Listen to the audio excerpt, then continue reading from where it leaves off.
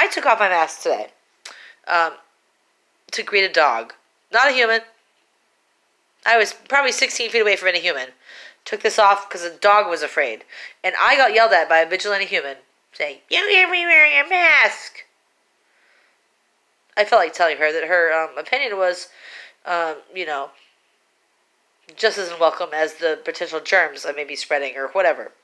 But my point is, is stop worrying about everybody else and start worrying about yourself. Because I've been to your houses, you now vigilantes who are all on board. I've been to your houses, I've used your bathrooms. I'm friends with a lot of people who have horrible hygiene. They don't even have soap in their bathrooms. Can't even wash my own hands.